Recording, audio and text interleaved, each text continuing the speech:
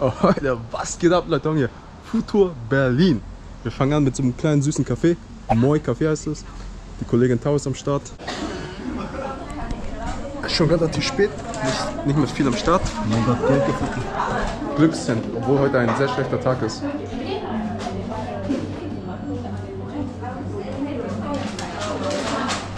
Ist süß, ist süß. Wie gesagt, in Berlin gibt es sehr viele davon. 一般都是捡那个快掉下来的。 Dann gönn dir. Probier du den ersten bisschen. Momento.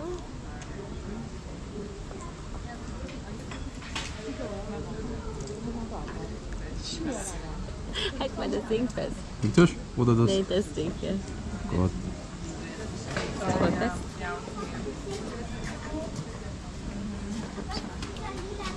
Bisschen. Bisschen alt schon, meinst du? Bisschen so zu fest, weil von der, weil es schon Also zu lang das- steht. ja, Das Biskuitding ist schon fester, aber trotzdem noch fluffig, oder? Das Erdbeeren.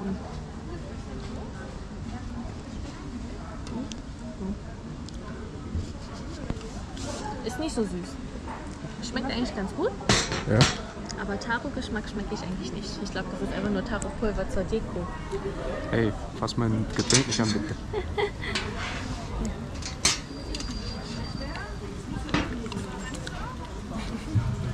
Mmh. Okay, interessant. Irgendwelche Kugeln sind hier drin. Das Wasserkastanie. Ja, oben ist ein bisschen fester schon.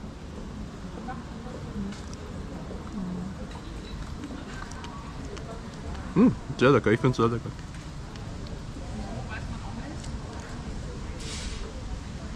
Kann man halt schon viel von essen, weil es nicht so süß ist.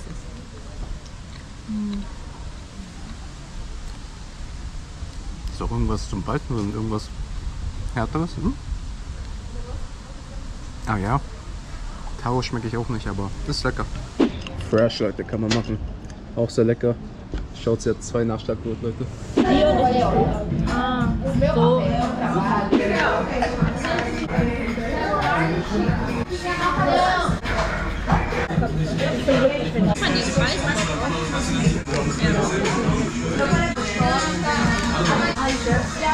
mit den Zähnen aufmachen.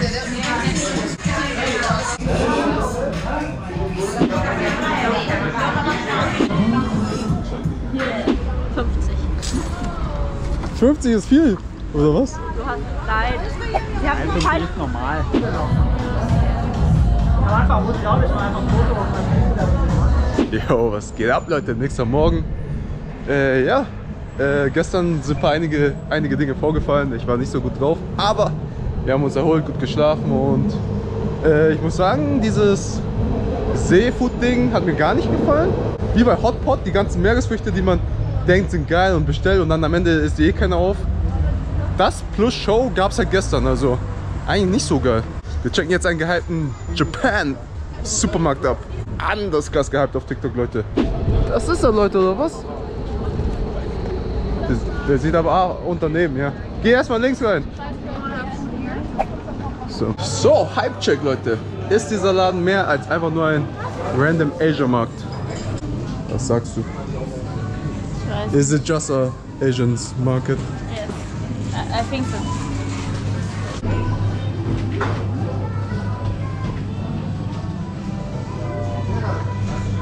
Das könnte das overhypedeste bisher sein, was ich jemals getestet habe.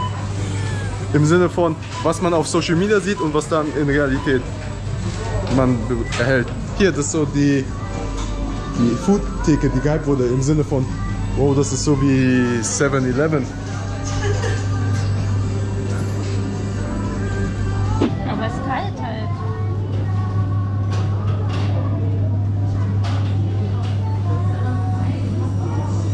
Alles kalt. Eine kleine Vorspeise, wirklich. Ein kleiner Snack, bevor es überhaupt losgeht hier.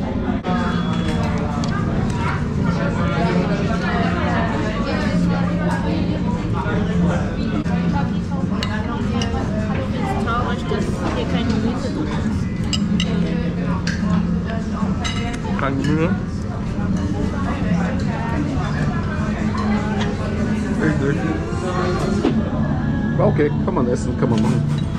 Nächster Stopp. Wir hatten eine kleine Eispause. Wir sind durch diese türkischen Markt da gelaufen, mit dem ich auch mal mit Stephanie war. Da gab es sogar ein Eis, das hat dem 9 von 10 gegeben. So. Warte. Okay, ihr seht das nicht, Mann. Habe ich bei Goldies gesehen, irgendwie Top 3 Thailänder. Die haben da irgendwelche thailändischen Nudelsuppen probiert. Das äh, habe ich jetzt heute nicht im Auge. Aber eine Vorspeise gab es da. Das war ein kranker Schweinebauch. Den checken wir mal ab. So. Im Video kam das sehr, sehr saftig und knusprig rüber. Schauen wir mal, ob die Goldie-Jungs nur labern oder ob das echt krass ist. Kritikerin, sie zuerst. Mal ein Stück aus der Mitte. Genau. Ziemlich heiß hier am Rand schmeckt man nicht. Boah, ich hab ein bisschen Angst vor der Soße, ne? Er ist ohne Soße. Dann, äh, aber Oder? die müssen mich nicht Wenn du dich nicht traust. Gas. Also so, ich habe ein Fundraising auch das Jackett nicht durchgezogen, weil ich diese Abschlussjahre und ich kam aus der denke, das muss werden, weil wenn es jetzt weitergeht, ist es nicht. Is it the best pork belly you ever had? Hat mich ja nicht überzeugt, sorry Leute. Ich bin gespannt auf deine Reaktion. Es sieht sehr crunchy aus. Es sieht aber auch immer noch so juicy aus.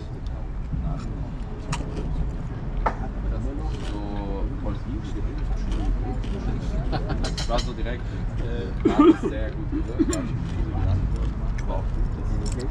Aber so, da, dann kam die Zeit Probier mal das Stück, weil ich glaube, ich hatte auch so ein Stück. Also, schaut die Seite an. Es ist auch immer sehr juicy. Aber die Seite halt nicht. Also das, was ich gerade hatte, fand ich schon gut. Sehr gut sogar. Der Crunch war da, der Juice war da. Das aus oder so? Das Bildschirmschoner Mädchen. Achso, sorry. Upsi. Weißt du, was ich meine? Die Wo ist dein Plus 1 oder beziehungsweise wo ist dein Main? Ja, ja, genau. Plus 1, Ja, ja, genau. Das ist extrem lecker. Echt? Es ist super knusprig, aber immer super juicy. Also mich haut's um. Also ich würde. Warte, wo sind wir hier? Wenn ich in Goldies wäre oder so? Vorspeise, Nachspeise. Ich würde nur hier, hier vor hierher kommen. Ich find's gut.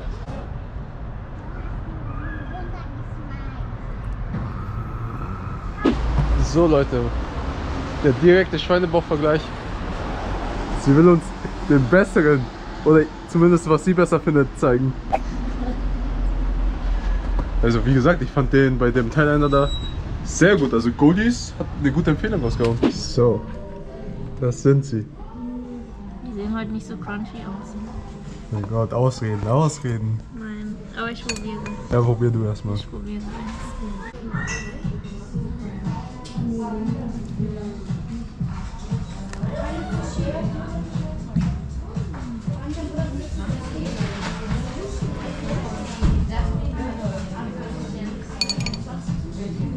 Ist gut, aber nicht so crunchy. So, es wurde nochmal zurück in die Küche geschickt, um nochmal knuspriger gemacht zu werden. Okay, jetzt sieht's crunchy aus, Leute. Ja, jetzt sieht es schon crunchiger aus. Lass mal gucken.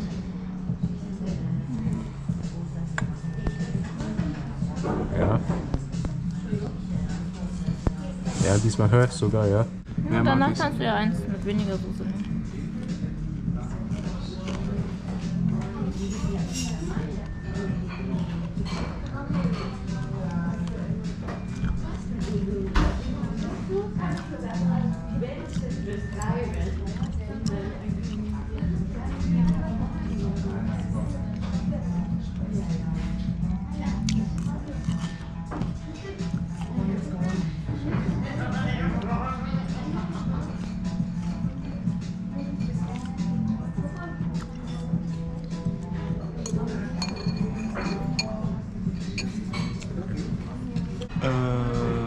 weniger knusprig und ich finde es auch sehr trocken.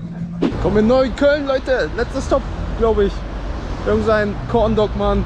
Super original ist der, super authentisch. Der hat mal auf, mal nicht auf, je nach Lust und Laune. Er macht zu, wann er will. Man hört nur so einiges von ihm. So, das ist er, Leute. Der legendäre Corn Mann. Und anscheinend gibt es auch Original Fried Chicken hier. Wir haben das, Leute. Mit Wurst, Geflügelwurst. Mit empfehlenswert Zucker, Digga. Sieht fett aus, meinst du? Ja, der hat ordentlich Gewicht. Also gut, dass wir nicht direkt zwei bestellt haben.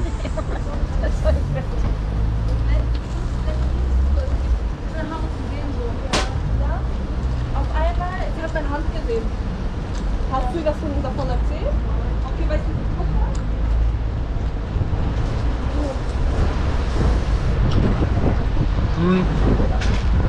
Also Zucker weiß ich nicht. Aber Wurst und Teig und so, krass. Also ich glaube, ohne Zucker würde ich, würde ich dem eine 9 geben oder 9,5. Aber der Zucker, ich weiß nicht, Mann. Also die Wurst, kein Vergleich zu Ding. Leider, sorry. Beneitschaft. Teig super fluffig, schön warm.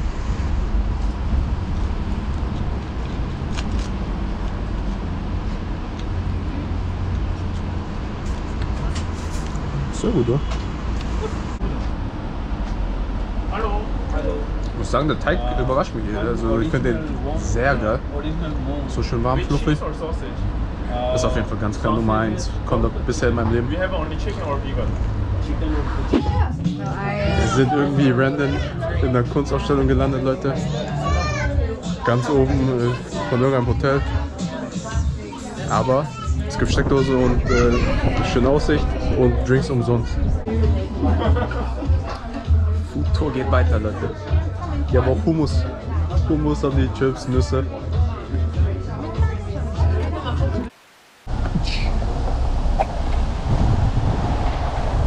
Wir fangen gleich ab, Leute. Davor gibt es noch Frühstück, obwohl es 14 Uhr oder so ist.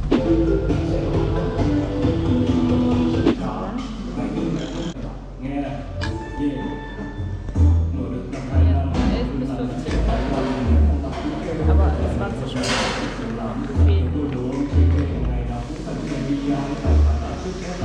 deine Tonlage nicht einschätzen. Findest du das viel oder wenig? Weil ich finde das sehr günstig. Echt? Achso. Wir Rap, Leute. Schaut's mal, Leute, ich mach TikTok auf und mir wird das direkt vorgeschlagen. Ruffys Waffel, irgend so ein One-Piece-Waffelladen hier in Berlin. Schau mal, ich stehe nicht so auf Waffeln, das ist nicht gut gelegen, aber es würde Klicks bringen.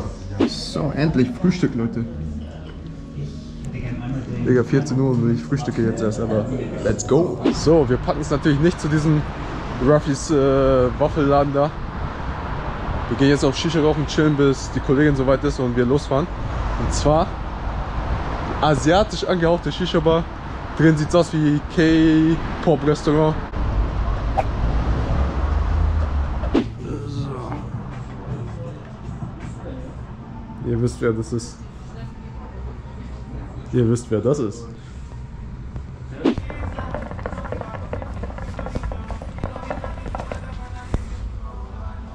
Digga, vier Kohle, oder? Alles gut. Smoke. Gute Shisha. Geiles Interior Design. Die Mädels rauchen da noch zu Ende. Wir fahren heim. Ab nach München, Alter. Business hier erledigt. Yo, das war's von mir und ein paar Kollegen aus Berlin. Ich hatte da was zu erledigen und die Kollegin Tau war zufällig an dem Wochenende oder ist zufällig an dem Wochenende nach Berlin gefahren. Ich bin mit ihr hin und zurück, habe die Gelegenheit genutzt und das, was ich in Berlin zu tun hatte, ja, das hatte leider kein Happy End. Mission failed. Aber paar gute Foodspots haben wir entdeckt. Äh, diese Schweinebauch, mein Gott. Das ist ein Spot, den würde ich vielleicht jedes Mal, wenn ich in Berlin bin, abchecken. So klasse war der. Das war's von mir. Wie mal liken, subscriben, kommentieren. Checkt die Visa, folgt mir gerne auf Instagram. Wisst ihr, Bitcoin, die Crypto Cashflow, generell jeden Tag tracken, serious business und ciao!